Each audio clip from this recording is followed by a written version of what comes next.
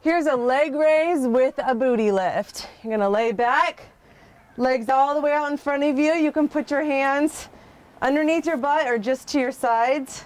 Lift your toes up and then lift your booty a little bit at the end.